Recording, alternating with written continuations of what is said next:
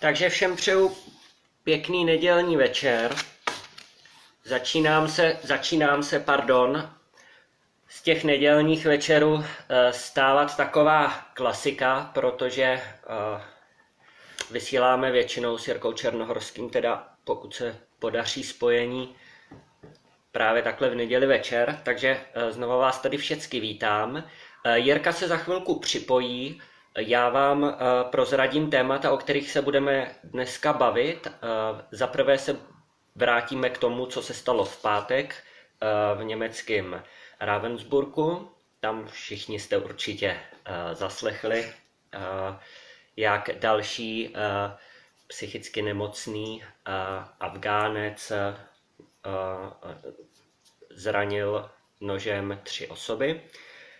Potom se budeme bavit o globálních paktech, rozdělíme to na několik částí, řekneme vám, jak dopadla letáková akce, respektive jak pokračuje.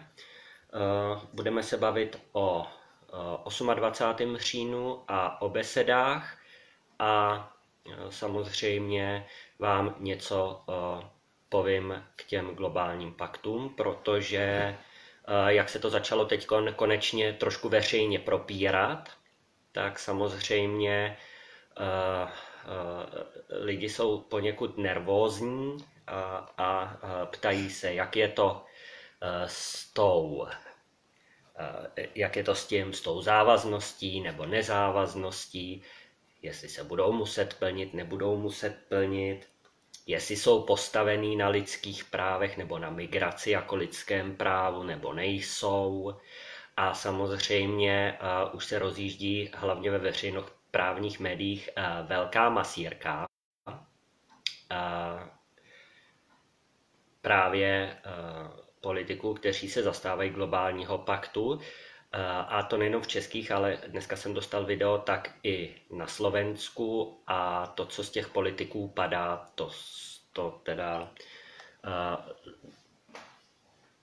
škoda mluvit. Takže já doufám, že se nám jaká za chvilku připojí. Já vás teda ještě jednou všechny zdravím a eh, já teda začnu, eh, já teda začnu bez Jirky Černohorského. Tak, vrátím se teda, nebo začneme tedy tím, co se stalo teď v Ravensburgu v Německém v pátek, tak jenom připomenu, že 19-letý Eh, afgánský žadatel o azyl neboli uprchlík tam eh, nožem zranil tři osoby. Dnešní stav je takový, že eh, jeden ten poškozený nebo jedna ta oběť leží s těžkými zdravotními problémy v nemocnici a je stále v ohrožení života. Já jsem vám sdílel nějaký videa, kdo jste je neviděli, tak se mi podívejte na zeď. Eh, samozřejmě, že eh, určitě si pamatujete, že to není tak dlouho, tuším 14 dní, a to jsem vám zase ukazoval eh, jiný případ, který se stal. Ukazoval jsem vám to prostřednictvím televizního vysílání německý zpravodajský televize NTV. No a samozřejmě uh, netrvalo dlouho, objevily se další a nedělám si iluze, uh, tohle to neskončí jen tak. Uh, co mě udivuje, nebo udivuje, uh, co mě uh, tak trošku ještě překvapuje, že spousta lidí pořád i po těch třech letech slyší na to, když se v médiích nebo v televizi objeví, že takovýto útočník nebo uprchlík trpěl nebo trpí psychickými problémy. Já osobně se domnívám, že to nejsou žádné psychické problémy, že to je prostě jejich mentalita, že to je jejich pohled na svět, na svět jejich pohled na lidský život, jejich pohled a hlavně jejich výchova a vůbec to kulturní prostředí, ze kterého oni přicházejí.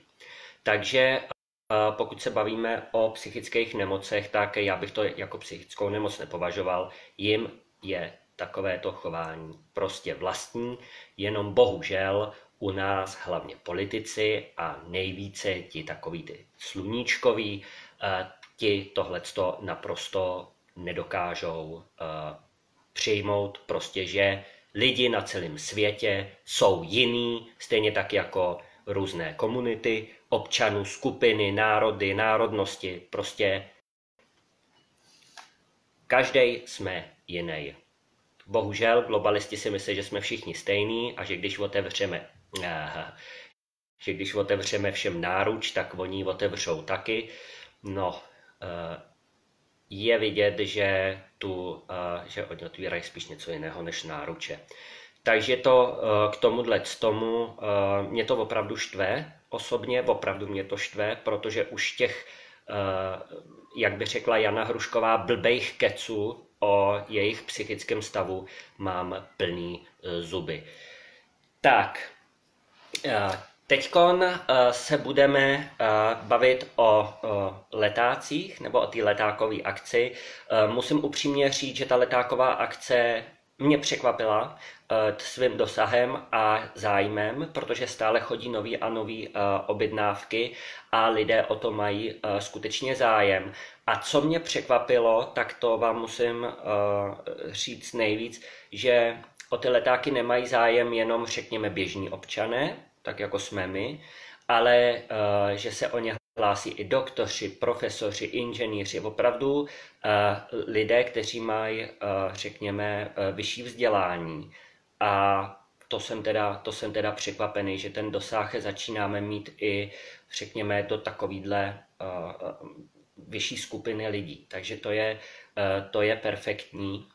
Samozřejmě že eh, ty objednávky zpracováváme teď postupně, protože těch objednávek je opravdu hodně a eh, je to taky závislý eh, samozřejmě na tom, kolik se nám na to sejde i financí, protože přece jenom ty letáky tiskne teď už tiskárna, už to neděláme doma my, protože to by bylo ještě stokrát dražší a přece jenom pokud chceme oslovit pokud chceme oslovit lidi, tak ty letáky musí nějakým způsobem vypadat. Prostě nedá se to jinak. Takže eh, já chci jenom touhle s tou formou poděkovat všem, kteří eh, vlastně přispěli nejenom, řekněme, finančně, ale hlavně i tou svojí aktivitou. Tak, já připojím Jirku. Tak, uvidíme, jestli to bude fungovat. Minule mi to nějak zahapovalo, píše mi to, přidává se tak. A Povedlo se. Ahoj Jirko. Nazdar Zdendo. Ahoj. Zdravíčko, přátelé. Tak, já jenom, tak jak pak... já jenom, Jirko, dopovím myšlenku. Tady se paní ptá, taky bych zapojila s letáky. My všechno máme na našich webových stránkách. Na, jak na mým profilu, tak i na Jirkovo profilu najdete uh, vlastně odkazy na tu kampaň letákovou nebo příspěvky, které na ní odkazují a tam se všecko dozvíte. Takže, uh, takže uh, odkážu právě takhle na ty naše webové stránky. Tak, Jirko, povídej. Určitě. Ty, každopádně budeme ještě tady tyhle odkazy znovu sdílet. Já to budu sdílet na Eh, jednotlivých profilech, protože samozřejmě já z toho přelítávám jak motýl z kytky na kytku, jak se zpívá v jedné písničce.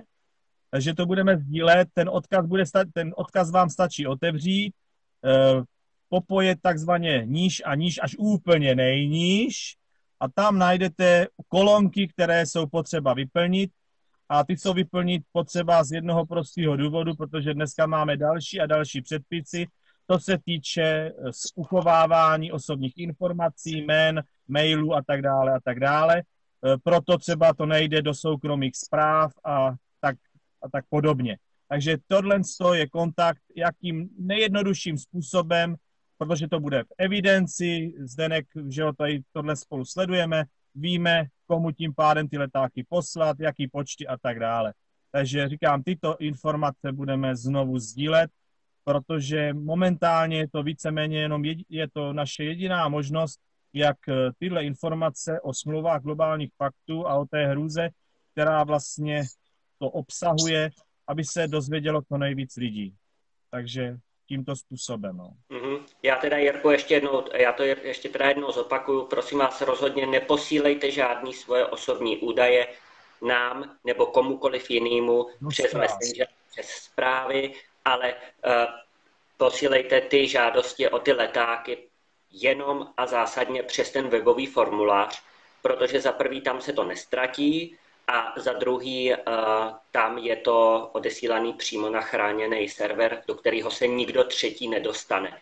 Takže uh, to jsou vlastně ty důvody, proč to chceme dělat takhle. No a samozřejmě ten hlavní důvod je ten, aby se nám ty objednávky nestrácely a aby jsme v tom měli taky přehled, aby jsme opravdu mohli to poslat co nejvíce lidem. Takže tak.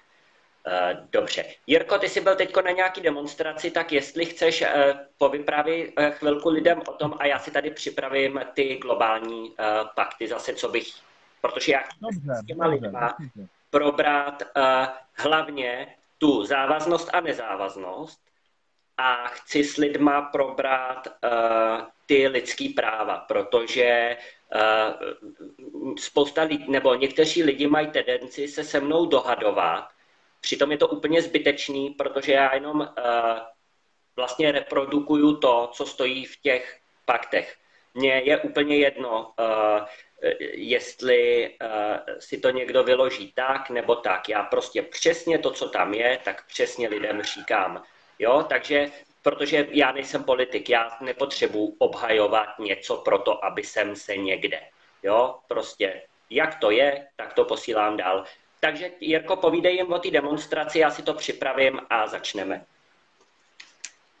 Takže eh, nevím, jestli si všichni uvědomujete vlastně, kolikátýho je, a to neříkám skrz svoje narozeniny v žádném případě, ale ze dne 29. na 30.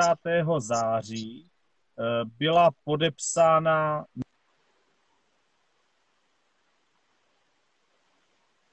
a už se nám to zase seká, už se nám to zase přerušuje, takže znova opakuju. Z 29. na 30. byla podepsána takzvaná Mnichovská zrada, ne Mnichovská dohoda, jak šíří naše televize, ale byla to pro nás Mnichovská zrada. A byla podepsána v oném jistém Mnichovském městě, že jo. Každopádně byli tam angličané, francouzi, Němci, to snad není pravda tady tohle. Oni se fakt snaží to přerušit, co to jde.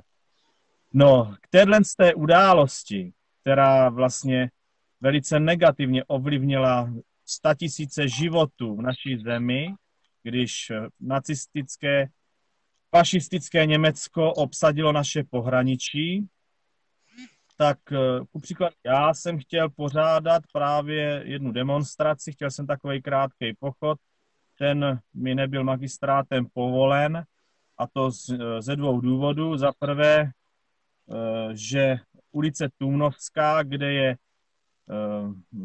ambasáda Spojeného království Velké Británie, tak tam to místo je zakázáno na demonstrace. To stejný ulice Sněmovní, kterou by se tam procházelo, tak ta je taky zakázaná. Nevím, čeho se obávají páni senátoři.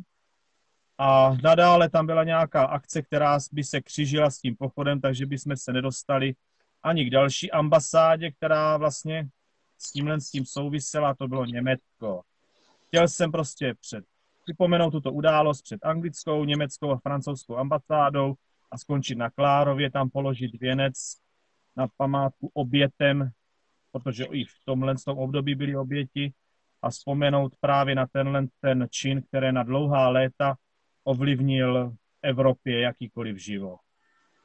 Eh, takže proběhla ale jiná demonstrace, teďka jsem se na ní byl podívat, byla na Václavském náměstí, byla pod organizací pana Václava Novotného z Ne základnám, kde vystoupili hosté právě z projevy téhle té události, paní Procházková, paní Vítová, Eh, byl tam opět, eh, řekl bych teďka, bojovník z řad poslanců eh, Pepa Skála, který měl opět velice výborný projev. Bohužel samozřejmě opět, co si budeme vykládat, účast naprosto mizerná, ale s tím se teďka nedá nic dělat, s tímhle budeme bojovat ještě nějaký ten pátek. Takže tohohle z toho jsem se zúčastnil a perlička z téhle té demonstrace je, že na pokyn magistrátního, dozorujícího magistrátního úředníka zasáhla tříčlená hlídka policie České republiky pomáhat a chránit proti občanovi, který měl na který měl vlajku a na té vlajce byl obličej známého revolucionáře Che Guevary. Že jo, to byl kubánsko-argentinský občan, dejme tomu, revolucionář, který se kdysi, že jo, nepohodl s tím kubánským vůdcem Fidelem Castrem a v Bolívii potom byl takzvaně zavražděn. Tahle osoba je samozřejmě kontroverzní, jako si myslím, že v minulosti jsou kontroverzní tyhle ty lidé prakticky všichni. A teď si představte, že ten magistrátní úředník eh, požádal tu policii o zjištění toho dotyčného občana, který měl tu vlajku toho Che Guevary, a že se dopouští trestného činu. Nedokázali specifikovat jakého, ale normálně bude, bude legitimován a bude, eh, nevím, jakým způsobem dál pokračovat tohle, ale to je naprosto neuvěřitelné. To prostě, čím oni už se dneska zaobírají, nezlobte se na mě, opravdu pomaličku, ale jistě, ne, že nám uh, berou tu svobodu, ať už projevu, pro svobodu slova, ale oni nám utahují doslova do, písmeč, do písmene smyčku kolem krku.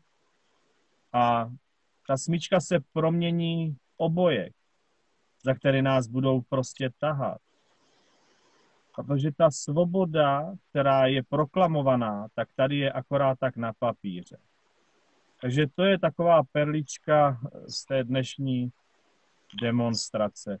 Být bych se k tomu asi nezmiňoval, protože říkám, bylo to víceméně jenom připomenutí toho, co vlastně bylo, což je správně, ale já, kdybych tam mohl vystoupit, tak bych asi to převedl do dnešní doby, protože to, co dneska se odehrává, to, co schvalují naši europoslanci, eh, takový pan Štětina, paní Jourová a tyhle to oni dokážou doslova do písmene ne říci, ale vyblit, protože tomu se jinak ani ne, to se jinak ani nedá nazvat než vý, výblitky, ne nějaké rozumné komentáře. E, prostě ne, to je neuvěřitelný, za co oni jsou schopni dneska lobovat. Jo, ku příkladu proti Maďarsku. A zase se nám to přerušilo. Takže já bych spíš to převedl do té dnešní doby, co dělají naši politici. A že napodobují vlastně ty události z minula. Jo? A tomu já říkám ohrožení demokracie a ohrožení svobody. No a s tím můžeme hnedka navázat právě na oné globální pakty, protože to zjištění, jak už jsem několikrát zmínil, co vlastně Zdenek pochopil z jednoho nebo ze dvou odstavců v češtině, které vysneli na stránkách ministerstva vnitra a začal potom pátrat a došlo to až do dnešních dní, kdy prostě víme, co globální pakty vlastně, pokud budou ratifikovány a budou zahrnuty do našich zákonů, co to pro nás bude znamenat. Bohužel to zatím ví jenom úzký okruh občanů této země a myslím si, že politici, kteří třeba vystoupili před, před eh, ambasádou Maďarska, kde byla demonstrace na podporu právě Viktora Orbána, protože tam se těžce jede proti svobodě a proti suverenitě maďarského státu a občanů toho státu.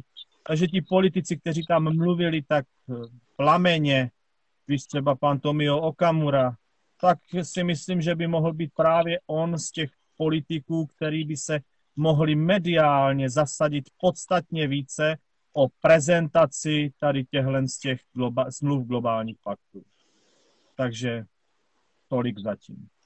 Tak já začnu teda prvním tématem a tím prvním tématem, my jsme o tom, Jirko, spolu mluvili, je takzvaná závaznost nebo nezávaznost. Uh, tak, ano, co se ano. týče globálního kompaktu, tak globální kompakt uh, je na jedné straně, ano, politická deklarace, uh, říká se, že tedy nezávazná a že je dobrovolná. Uh, tak se na to, tak já vám teď uvedu jeden případ, nebo jeden příklad, jak se jak mávnutím kouzelného proutku z nezávazné deklarace, pokud je přijatá, může stát eh, deklarace závazná, respektive eh, se může stát eh, nadřazená nad národní zákony. Není to tak dlouho a vy jste o tom určitě všichni slyšeli, nebo jste to zaregistrovali, že se začalo probírat téma takzvané istambulské úmluvy. Istambulská úmluva eh, teoreticky má řešit násilí na ženách, my, nebo domácí násilí. My samozřejmě víme, že v té istambulské úmluvě je pěkně schovan, schova na mezinárodní nebo nadnárodní organizace Grevio, která by potom měla dohlížet a mít, eh, řekněme, pravomoci nad národními eh, sociálními úřady starajícími eh, se o děti nebo úřady péče o děti. Tak, a na téhle istambulské úmluvě je právě krásně vidět, jak nebezpečný je přijímat takovéto nezávazné, nic neříkající deklarace. Tak, když Česká republika přijímala, přijímala Istanbulskou úmluvu, tak ji přijala skutečně jako politickou nezávaznou deklaraci, kterou plnit může, ale když ji neplní, tak v podstatě je to právně nevymahatelné. A ejhle, co se stalo, Jednoho krásného dne u, u kanceláře pana premiéra Babiše zaklepalo sedm žen z jisté neziskovky, sedm feministek. Pan premiér je přijal a těchto sedm žen tam orodovalo u pana premiéra právě za uh, ratifikaci Istanbulské úmluvy. A jsme u toho. Pokud dojde eh, k ratifikaci eh, úmluv nebo eh, řekněme takovýchto dokumentů mezinárodních nezávazných, tak se automaticky stávají plně závaznými a automaticky se podle nich musí řídit naše legislativa. Musí se měnit podle nich zákony, přizpůsobovat se jim a samozřejmě článek 10 ústavy hovoří naprosto jasně.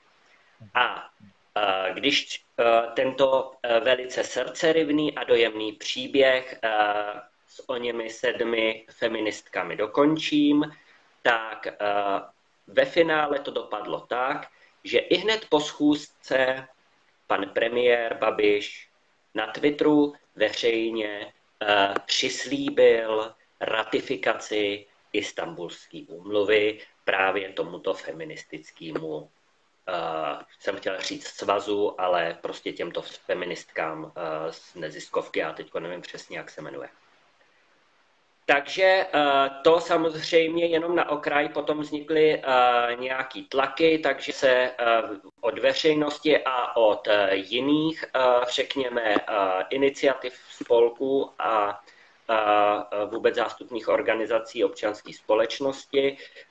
Takže ta ratifikace té istambulské úmluvy se samozřejmě oddálila. Teď není přesně stanovený datum, kdyby k té ratifikaci mělo dojít. A já si myslím, nebo doufám, že z té ratifikace sejde úplně. Takže samozřejmě to je ten důvod, to je to nebezpečí, proč je potřeba zabránit vlastně přijetí globálního kompaktu tom, v tom prosinci, protože jakmile my bychom ho podepsali a sice by byl nezávazný, tak nepo, nepochybuju o tom, že se v parlamentu u politiků a nebo třeba u pana premiéra eh, dveře netrhnou právě z lobbysty z neziskových organizací, organizací pardon, kteří budou orodovat, ronit slzy a úpěnlivě prosit za to, aby se ty globální pakty ratifikovaly. Takže eh, to jenom eh, na vysvětlenou k té závaznosti nebo nezávaznosti ale ještě nejsem u konce, tam je ještě jedna taková zajímavost v těch globálních paktech, a teď se nebavím jenom o globálním paktu o bezpečné, řízené a pravidelné migraci, ale i o globálním paktu o uprchlících a samozřejmě o New Yorkské deklaraci, která je pevnou součástí globálního kompaktu. Protože eh, jenom ten globální uh, pakt o bezpečné, řízené a pravidelné uh, migraci ve více jak 40 případech obsahuje formuly zavazujeme se. U New Yorkské deklarace jsem to nepočítal, ale tam těm snad začíná každý druhý odstavec a u paktu u uprchlí, o uprchlících samozřejmě, samozřejmě tam je to, eh, tam je to taky tak. A eh, když už jsme u toho zavazuji se, u této formulace, tak například globální pakt o bezpečný, řízený a pravidelný migraci eh, v preambuli začíná tím, že, že říká, že členské státy přijali Eh, závazek, eh, eh, přijali New Yorkskou deklaraci jako závazek a znovu ji potvrzují. Takže ono sice je hezký, když do globálních paktů napíšou, že budou, že samozřejmě si můžou ty státy, že budou jim ponechána Eh, národní migrační a asilová politika a že, je to, že, že se mají ty pakty provádět v souladu s danými předpisy dané země. Jenomže ono je tam taky napsáno, že toto všechno se týká s výjimkou mezinárodních závazků a pokud teda se píše v globálním paktu o migraci, že byl přijat, eh, eh, že byl přijat a že se potvrzuje New Yorkská deklarace jako závazek, tak samozřejmě, tak samozřejmě s výjimkou právě těchto závazků by měla být prováděna národní migrační a azylová politika, což je nepřijatelný, protože by z ní v podstatě zůstaly hadry to by zůstaly cucky a e, tam jako by nebylo vlastně, tý by nezůstalo skoro nic. Takže to je druhá taková věc, e, řekněme, která se týká právě toho, jestli je závazná nebo není závazná. No a konec konců e, třetí bod k té závaznosti, tak tady bych jenom připomněl, že maďarská vláda si nechala udělat právě právní rozbor a to nejenom těch globálních paktů, ale už tenkrát uh, už tenkrát té New Yorkské deklarace a samozřejmě eh, podle toho právního eh, rozboru eh, došli k závěru, že je naprosto nekompatibilní s národní migrační politikou, takže od toho odstoupili. Já koukám, že máme tady zase nějaký asi sluníčka, nebo jo, asi jo, což mě strašně těší, protože je potřeba je potřeba uh, uh, komunikace takže, uh, takže, samozřejmě, uh, takže samozřejmě to je k té závaznosti nebo nezávaznosti. Uh, jinak já dostávám, řekněme, hodně dotazů od lidí, který já vůbec neznám, třeba úplně od externě, taky i od, řekněme, těch sluníčkářů nebo dobrolidí. A víte, Eh, já s každým to rád probírám. Budete se divit, ale New Yorkskou deklaraci já jsem s pár sluníčkářema skutečně probíral. A my jsme si ty dokumenty přeposílávali zpátky, diskutovali jsme o tom, bavili jsme se o tom a shodli jsme se, uh, shodli jsme se na tom, že už ta New Yorkská deklarace je právě naprostý nesmysl. Že to je utopie, která prostě, kterou prostě není možné, není možné, uh, řekněme, jako podle ní postupovat, protože Eh, protože eh, ta obsahuje eh, tak utopický a tak v podstatě neproveditelné věci, že že jenom pokus o její, o její vlastně uvedení do praxe by znamenal jenom další chaos.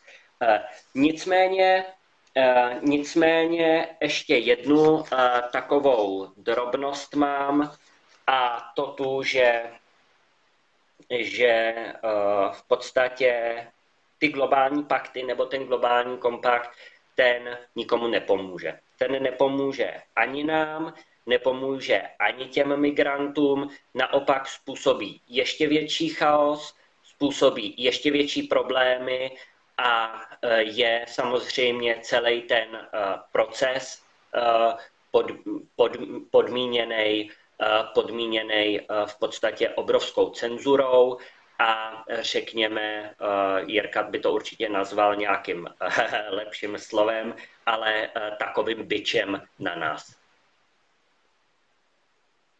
No, Zdenku, co se týče toho, co jsi říkal, samozřejmě s tím nemám, nemůže mít nikdo víceméně problém, protože je to všechno pravdou.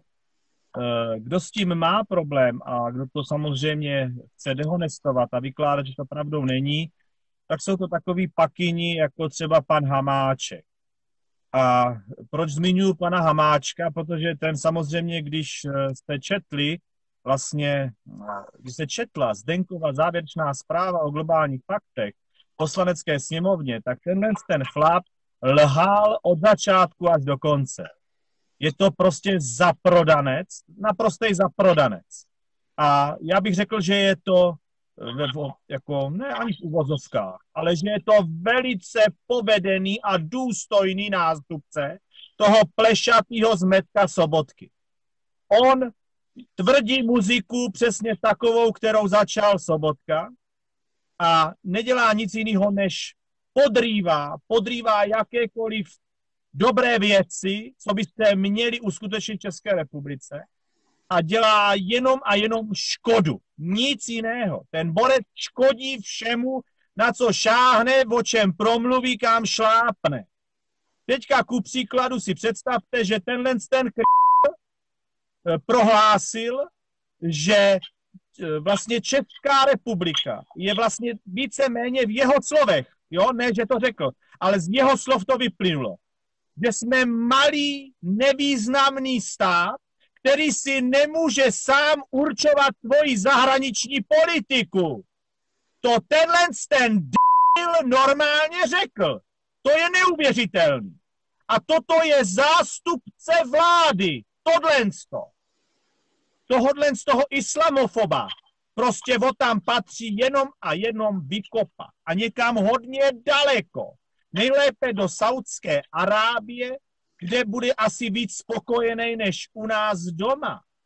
Tenhle ten šejt neskutečný. Takže on bude vykládat, že globální pakty jsou prospěšné.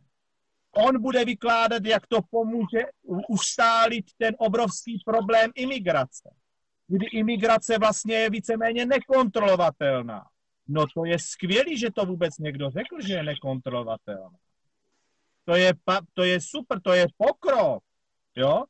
Ale on to rozvádí dál, kdy lže o těch věcech, že to bude prospěšné. Nebude to prospěšné.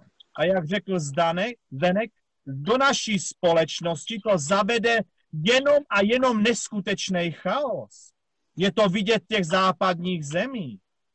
Teďka nedávno mě tam eh, pod jeden komentář napsal, teďka myslím jistý Petr a nevím, jak se jmenuje dál, že můj pohled na svět je naprosto tragický eh, že bych se měl informovat v jiných zdrojích a že nejsme v takové prli, jak já to takzvaně předkládám. Eh, my jsme se tam, do, jako trošku jsme si podebatovali, vyměnili jeden, dva názory a myslím si, že jako není to tak nejhorší s takým člověkem komunikovat, protože je slušný, dejme to. Eh, já jsem na tom ovšem odpověděl, že já se informuji napříč těmi našimi médii, ať už je to od hospodářských novin přes novinky a seznám až po samozřejmě Areonet a, a Echo 24 a z naše zprávy a iDnes, takže já ty informace mám z více zdrojů, ale hlavně taky mám od občanů, lidí, kteří v těch jednotlivých zemích žijí. Ať je to Francie, ať je to Anglie, ať je to Německo, ať je to Španělsko, Itálie, ale i Švédsko. Já s těma lidma, jsme, co tam žijí a pracují, osobně bavil. Takže to, co my si myslíme, že ještě není tak horozné, tak jsme na velkým omylu. A ten náš omyl spočívá v tom, že ty věci, které my nevíme, tak jsou takzvaně plíživé a oni je před námi samozřejmě tají. A příkladem za všechny, za všechny tohle je příklad toho, co vlastně zjistil Zdenek. Protože, a nebo Ivanka Schneiderová, který začali šířit věci, o kterých ještě před čtyřma měsícama prakticky nikdo z nás nevěděl. A to je právě Istanbulská smlouva, Marake, Ma, smlouva a New Yorkská deklarace. Tohle před námi bylo utajeno a oni se to snaží tajit dál. Ty informace nejsou veřejně prezentované. Mám tady dotaz, nebo spíš je, bu, bu, bu, prej, abych nestrašil. Mám tady dotaz, takový komentář ohledně eh, Zdeněk Moravský, tím, že pan Okamura naprimě vzpomněl to, že vlastně páni poslanci nechtějí řešit, nechtějí řešit globální pakty. No, to je hezký zjištění. Eh, já bych chtěl panu Okamurovi a SPD veřejně poděkovat za to, že se snaží v té poslanecké sněmovně se o tomto zmiňovat, že se pan Okamura snaží to veřejně prezentovat i na primě, ale jak sám vidí, tady se nedostává sluchu, jo, ani jemu, a to je veřejně známá osobnost, politik, poslanec České republiky, předseda politické strany SPD a nedostává se mu sluchu. Takže si myslím, že by mohl začít trošičku přemýšlet o tom, jak to tedy mezi tu veřejnost dostat.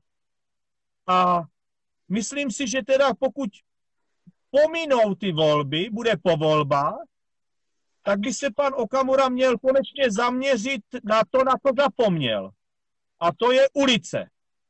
A to jsou demonstrace. A je potřeba ty lidi opět vyzvat. A tak to šířit mezi další a další lidi. Protože ty demonstrace nemůžou probíhat jenom v Praze. Musí to proběhnout v Brně, v Ostravě, v Budějovicích, v Liberci, v krajských městech, Hradci Králové, Pardubicích. Protože jinak to mezi ty lidi nedostaneme. Média tomu nejsou prostě svolní. Jedou se systémem. A co si budeme vykládat, jenom letáky tomuhle tomu nezabrání. Takže já bych, říkám, poprosil pana Okamuru a vy, členové, co to třeba teďka sledujete, SPD, tak mám pro vás takovou nabídku. Začněte vytvářet tlak ze spoda. Začněte tvořit vy tu přímou demokracii. To, co prohlašuje SPD, začněte ju vytvářet aby se ty požadavky a ty věci, co chceme, tak aby ze spoda začaly být slyšet. Začněte vyvíjet tlak na toho člověka, který může leda sos to, této věci pomoci. protože, jak vidíte, poslanecká sněmovna to řešit nebude, v televizi se to řešit nebude, v rozhlase, v novinách to nebudete slyšet, nebudete to číst a my ty informace prostě potřebujeme dostat co nejrychleji mezi lidi. Já bych těm... Uh... My se snažíme, ještě promiň, my se snažíme nejenom s těmi letáky dávat naše in, nebo informace, co, na, co zjistil Zdenek, ale do těch letáků, do těch dopisů eh, dáváme i petici SPD právě proti globálním paktům. Takže Zdenku můžeš. Já bych jenom chtěl uh, říct jednu věc, a to tu, že globální kompakt samozřejmě obsahuje kvóty na přerozdělování migrantů do členských států Evropské unie. Ty kvóty tam jsou a jsou přímo v bodě 3.2 eh, přesidlování v globálním, eh, v globálním eh, paktu o uprchlících. A pokud naši zákonodárci, poslanci se byli při debatách o Dublinu 4 do prsou a do televize říkali, jak jsou proti kvótám na přerozdělování migrantů, tak automaticky by podle tohoto jejich předchozího chování měli většinově ty globální pakty zavrhnout. Protože ty globální pakty, oni ty kvóty obsahují, jak jsem řekl také, ale v trošku jinačí formě. Globální pakty v Dublinu 4 byly nastaveny tak, že se týkaly eh, přerozdělování, eh, řekněme, migrantů, eh, ze kterých se ze všech udělali teda uprchlíci, do členských států Evropské unie, ale těch, kteří už do Evropské unie přišli. Kdežto tady v globálních paktech ty kvóty se vlastně, eh, se vlastně eh, dělají i mimo Evropskou unii, eh, abych to tak pochopitelně vysvětlil. U UNHCR prostě řekne, že tamhle někde z Bangladeše nebo z Eritreji nebo odkud je potřeba přesídlit tolik a tolik migrantů a v podstatě už bude určovat eh, těm zemím, eh, kolik která země evropská si jich převezme a kolik si jich přesídlí k sobě. Eh, samozřejmě to přesidlování to není jediný účelný prostředek, který je v těch globálních paktech zanesený. Tam je ještě další prostředek slučování rodin, protože to je právě novinkou a podle mě je to naprosto něco, naprosto něco skandálního, že eh, tam by mělo vzniknout právě nový právo na slučování rodin nejenom pro uprchlíky, pro azylanty, ale právě i pro migranty. A dokážete si, já už jsem to minule o tom mluvil, dokážete si představit, že sem přijde jeden migrant, eh, který řekne, že pochází z chudé země, eh, nebo že na něj dopadají ekologické změny a Eh, že si sem prostě bude moct, řekněme, přivízt celou, já nevím, XY eh, rodinu, to je něco neuvěřitelného. Proto ty eh, globální pakty jsou naprosto nepřijatelný, protože ten globální, ten velký pakt, ten globální pakt o migraci, který se týká jenom migrantů, to znamená ne lidí, kteří mají status a právo na, posky, eh, na eh, vlastně poskytnutí eh, nebo na obdržení mezinárodní ochrany, tak samozřejmě my k ním budeme muset úplně teď znovu říkám, k migrantům změnit přístup. A samozřejmě ten globální pakt tam všechno schovává pod ty takzvané lidský práva. A jedním z těch lidských práv je i, a to byla právě Eh, taková ta velká, eh, řekněme, smrš dotazů.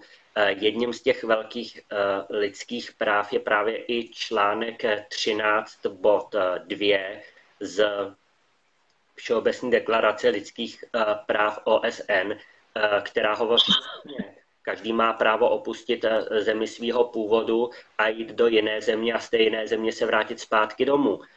Nicméně k tomu jsou samozřejmě spousta dodatků, například dodatek 273, který hovoří o tom, že délka toho pobytu délka toho pobytu v podstatě je neomezená. Není omezená a ani se ne, a nezáleží ani na účelu toho pobytu.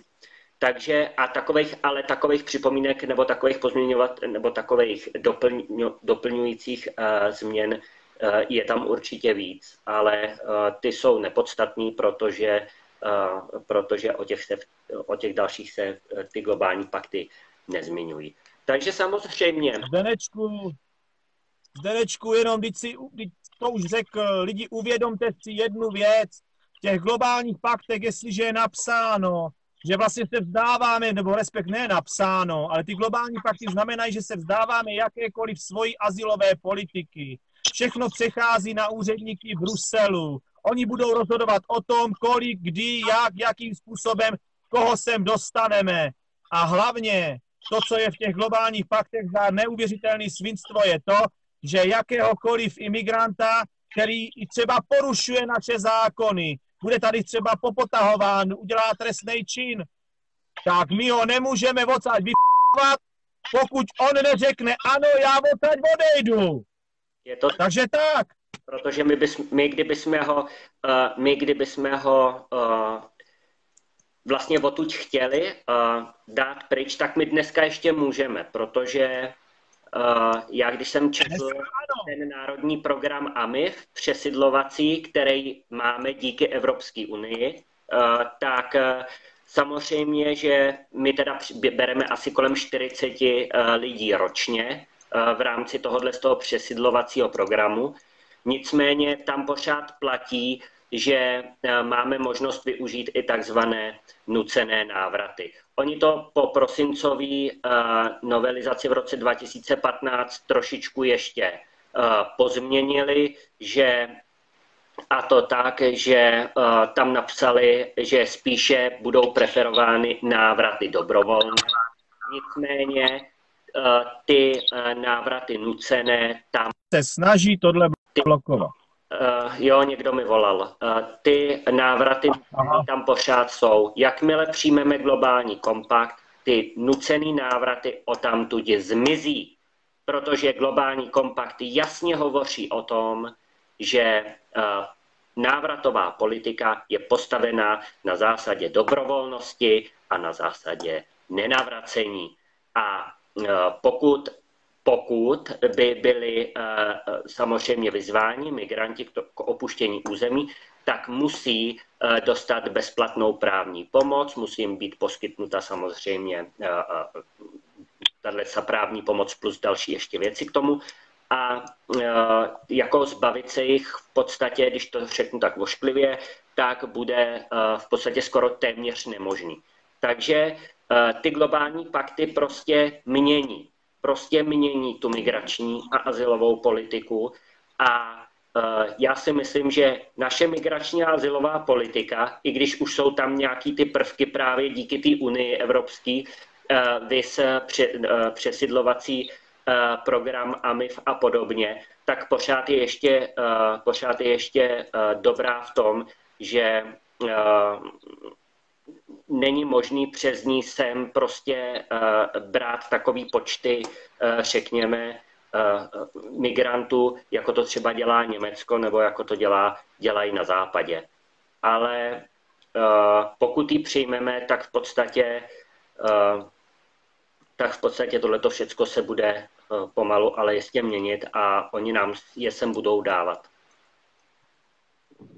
Dívej se, Zdenku, jedna taková poznámka další. Psal mě nějaký kašpar, už ani nevím, jak se jmenuje, už je zablokovaný, protože byl zprostý jako ova a s takovýma lidma já nekomunikuji, že žije v Praze a že lžu.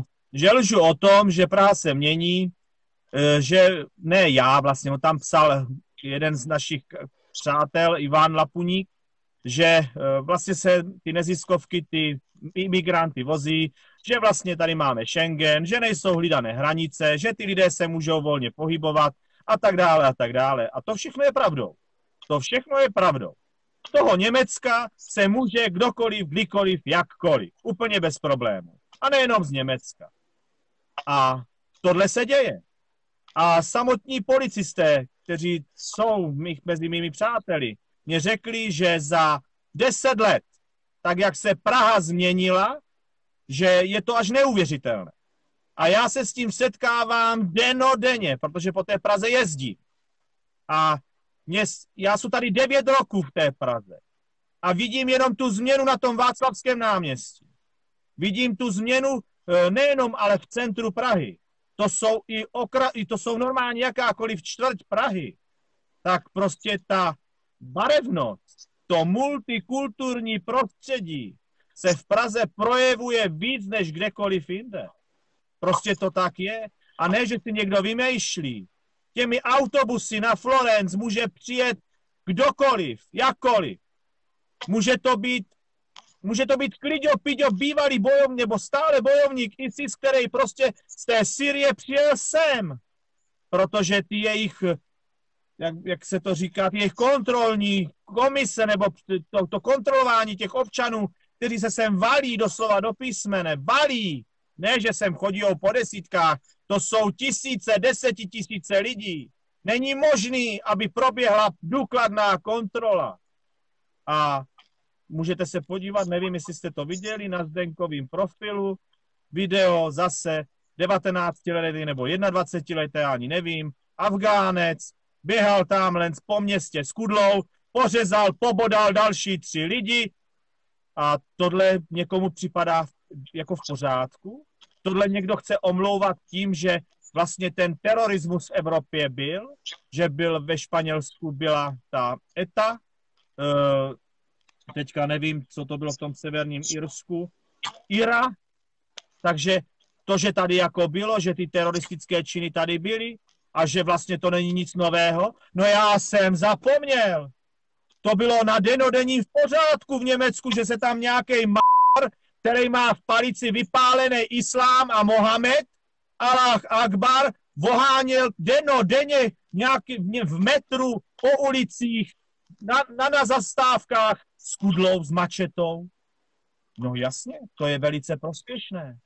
Takže tenhle člověk, který mě napsal, že Ivan lže a že se to prostředí v České republice mění, že ten pigment, jistý pigment tady přibývá, že je to blbost, že on žije v Praze, tak mám pocit, že žije někde v jiné Praze. V té Praze asi v Texasu. Tam je taky nějaká Praha. Jo? To je prostě, to je, tyhle lidi zavírají oči. Doslova do písmen. Nevím, pod jakou záminkou si to idealizují. Nerozumím tomu. Ale každopádně ta situace, která je v naší zemi, je víc než vážná. A nesměřuje to nikam k dobrému. A jestliže my nebudeme mít možnost právě ty informace rozšířit mezi širokou veřejnost, tak bohužel manipulace typu kry hamáčka bohužel bude dál lidi utvrzovat v tom, se neděje. A to je obrovský problém. Co si budeme vykládat, starosti, rodina, tak další vytržení, utržení svého času, volného času na to, to, co třeba předved Zdenál za poslední čtyři měsíce, že by to dělal ob, každý běžný občan, že by se zajímal o zprávy, o dění, o internet, o to, co se ve skutečnosti v naší zemi děje, no asi sotva. Těmhle těm lidem stačí česká televize, billboardy, blesk a vy hamáček v poslanecké sněmovně. A máme problém.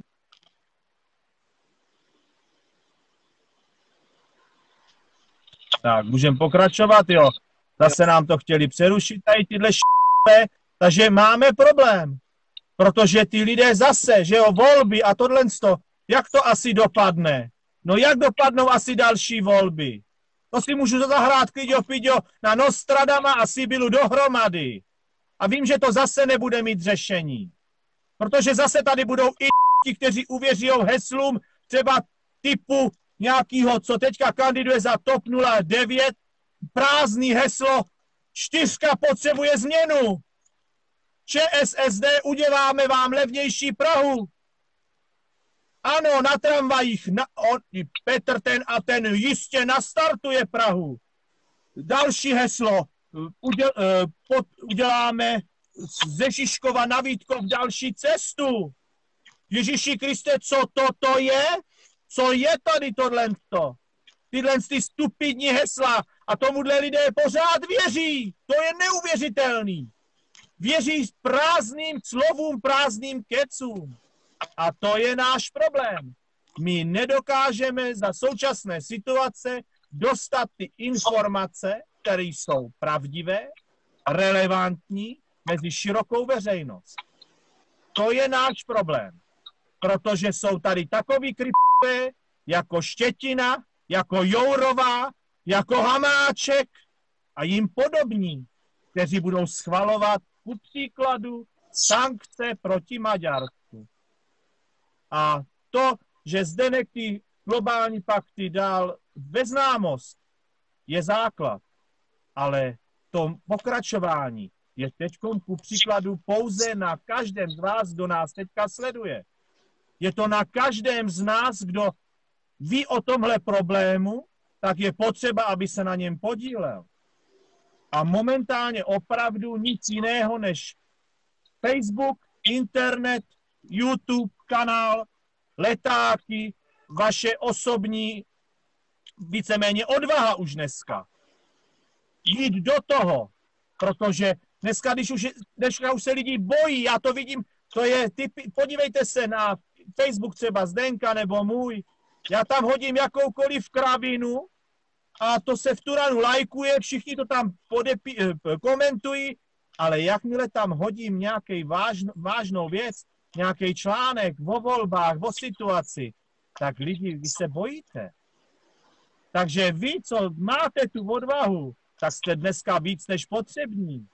Právě s těmi letáky, protože musíte jít do ulic. Jdete ze svou vlastní kůži na trh. To je dneska jediná naše možnost.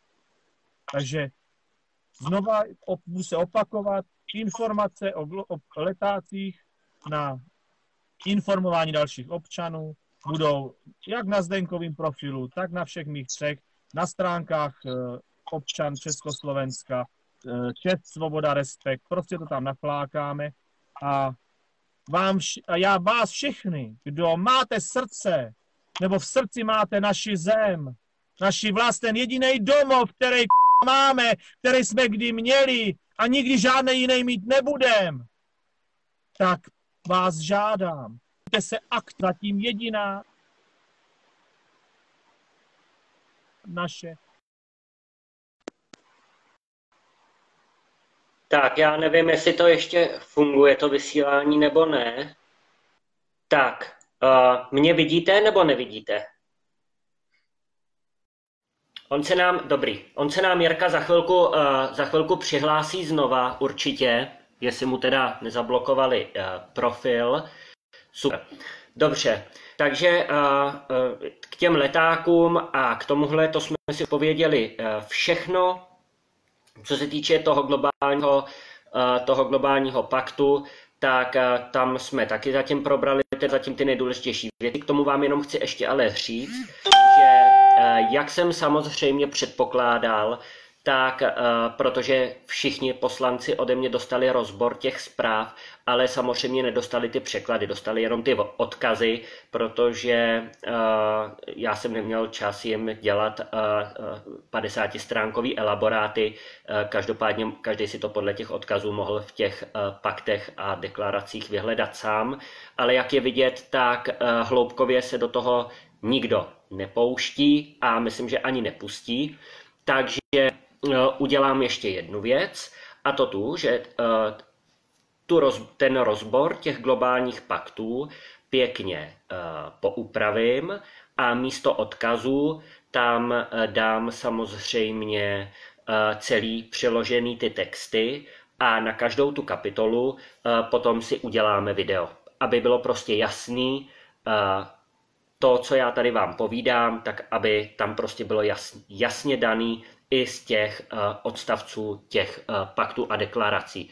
Tak, Jirka se nám znova uh, připojuje, to povede, uvidíme. A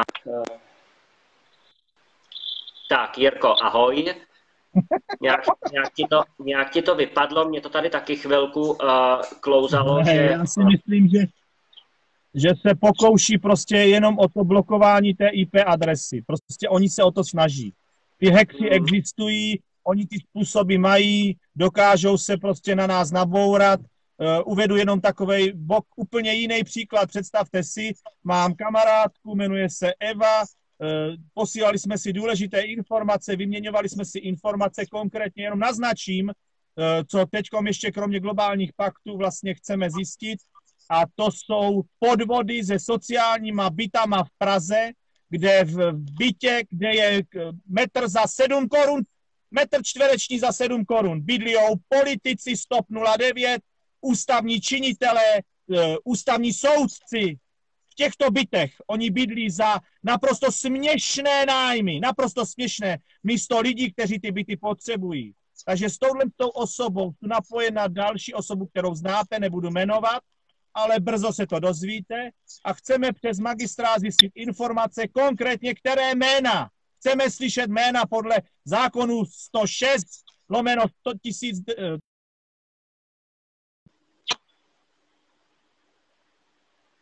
právo. Takže představte si, že s touhle ženskou já už si nemůžu psat maily. Oni mě normálně blokují posílání a odesílání mailů. Dneska jsme se setkali na náměstí na Václaváku a přímo tam jsme si to odeslali. Adresu, aby náhodou jsme neudělali nějakou chybu. Nepřišlo to. To je neuvěřitelný. Prostě ta svoboda je v já vám to říkám, deno denně se s tím setkávám. Svoboda je v je jenom na papíře. Demokracie neexistuje, to slovo je jenom napsaný na papíře. Zastupitelská demokracie v je to neskutečný blábol. Prostě nesmysl. Takže já, já to už ukončím. Případně to nepřenechám Zdenečkovi, protože já musím, mám ještě ne, jednu... Ne, ještě, ještě nikam nechoď, Jirko, ještě tě za, na chviličku potřebuju. Já... no, tak teda mluv. Tak. Já jsem v pátek šel z práce a stavoval jsem se u toho kamaráda, toho Klauze, ten bydlí tady uh, tři, ne, pět stanic tramvají ode mě ve Vedingu. A uh, vlastně ob jeden dům činžovní, ve kterém on bydlí, tak uh, tam zbourali starý činžák a staví tam uh, tři činžáky hned za sebou. A Klaus, protože uh, on je původem z Hamburku, a takže on má tu uh, papuli takovou dost proříznutou, tak samozřejmě se ptal těch stavbařů, co tam byli, nebo co je tam chytnul, Uh, co pak je to za krásný činžovní dům uh, s úplně novými byty. A uh, já myslím, že nemusím tady lidem říkat, za jakým účelem město nechalo tyto obrovské baráky s luxusníma bytama vystavět. Já jenom řek, prozradím, že tenhle ten týden, pokud se mi to časově podaří, tak eh, já samozřejmě se eh, na ty Grüntaler Straße stavím a já vám ukážu eh, ten krásný moderní komplex, jak se tady pěkně, řekněme, staví a pro koho se tady staví. Takže to jenom, to jenom odbočka trošku od globálních paktů. A Jirkovi jsem ještě chtěl, Jirkovi jsem chtěl ještě Eh, nebo jsem chtěl, aby tu zůstal, protože ještě potřebujeme prodat, probrat, ne prodat, probrat, pardon, 28. říjen. Tak Jirko, povídej. 28. Eh, říjen byl, nebo takhle, já díky tomu, že mám datovou schránku, tak eh, jsem to zamluvil ten půl rok dopředu, celý Václavák, ale protože je to samozřejmě významný den, co si budeme vykládat, tak i Česká republika na tom se chce podílet a na Václaváku bude vystupovat Česká filharmonie. Byl jsem na magistrátu informovat se o tom, jestli teda budeme moct demonstraci na Václavském náměstí uskutečnit. To mě bylo potvrzeno. Demonstraci, kterou chceme pořádat, bude na Václavském náměstí, ale pozor, zatím nevíme, v kterém místě, protože i když teda já jsem oznámil celý Václavský náměstí pro tuto demonstraci, tak eh, Česká filharmonie zatím neví, jestli bude pod koněm takzvaně, anebo na můstku. Eh, já si myslím, že protože práce, eh, finišují práce na stavbě, rekonstrukci, pardon, rekonstrukci na, muzea, takže to budou chtít tím, s tímto spojit a že si spíš myslím, že Filharmonie bude u koně. Takže s největší pravděpodobností se demonstrace 28. září, teda pardon, jo, 28. října, bude konat eh, eh, v dolní části Václavského náměstí, ale samozřejmě ještě tohle s tou upřesníme. Ale říkám, největší pravděpodobností bude na Můstku, kde už eh, jsme se domlouvali ohledně jistého stanu, jo, aby jsme mohli prezentovat naše vlastně určité myšlenky a zájmy, kterými máme, co by se mělo stát v České republice, co se nám nelíbí. A budeme se snažit e, o to, aby se informace samozřejmě dostaly mezi nejširší veřejnost. Opět na sdílení a tak dále. E, tolik zatím teda k té demonstraci toho 28. Každopádně je to nahlášené, je to povolené, je to schválené, ale bohužel zatím nemám informace, nebo respektive Filharmonie neví, kde chce hrát. Jo? Takže toliko k té demonstraci Zdenku. Jirko, uh, je to, platí teda ten čas v 15.30? Uh, ano, je tam nahlášeno 15.30, ale samozřejmě my budeme potřebovat nějakou přípravu, takže počítám s tím, že minimálně tu hodinu budeme potřebovat na nachystání věcí, takže oficiální začátek bude buď to 16.30 anebo 17.00.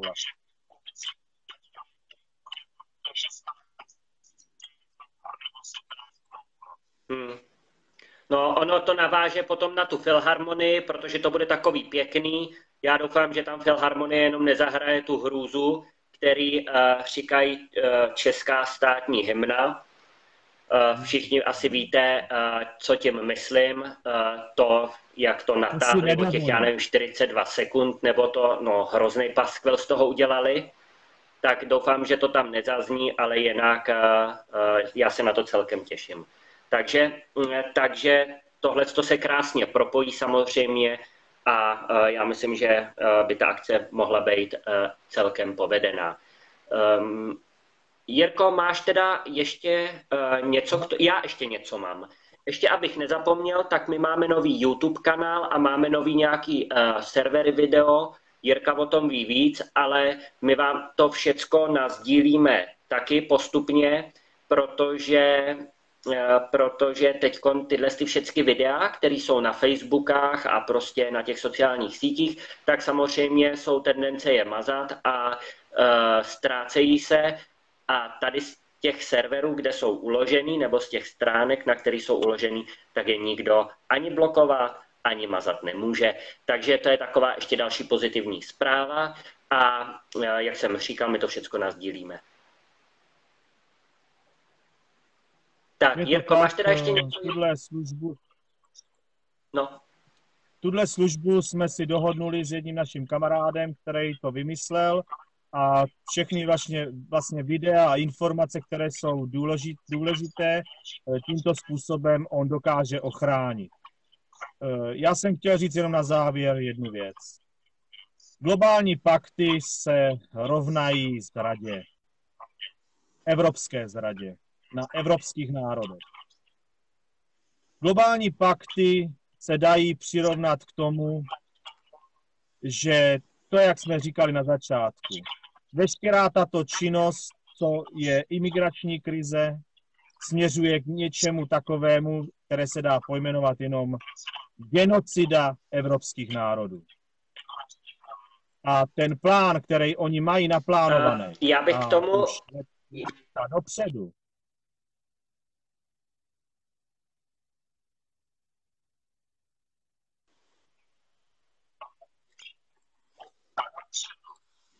Takže ten plán, který mají leta dopředu naplánovaný, se nesplní jedině tehdy, pokud my opravdu, my občané, ne občané, my lidé, my lidé nedokážeme najít tu společnou cestu, tu sounáležitost, sjednotit se a prosazovat ty naše zájmy společně bez vlastně našich rádoby politických směrů a tomu našemu, já nevím, jak bych to nazval, ten, komu fandíme.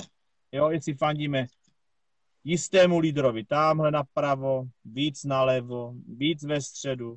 Prostě bez té politického smýšlení my se musíme sjednotit, aby jsme dokázali zabránit tomu, co se žene na Evropu.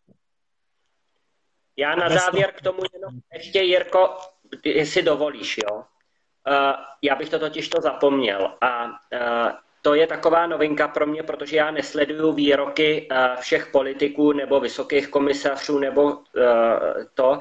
Nicméně mě šokovalo, když jsem teď slyšel výrok, nebo když jsem narazil na citát jednoho vysokého komisaře OSN, který řekl, že homogenita národu musí být za každou cenu zničena a on, kdyby mohl, on, kdyby mohl, tak uh, tuto homogenitu okamžitě u svého vlastního národa nechá, uh, ne, nechá odstranit nebo zlikvidovat. Homogenita národa je to, že národ prostě je homogenní, je uh, řekněme, má nějaké svoje tradice, nějaké svoje prostě, uh, nějaké svoje hodnoty, uh, nějaký svůj vnitřní pořádek.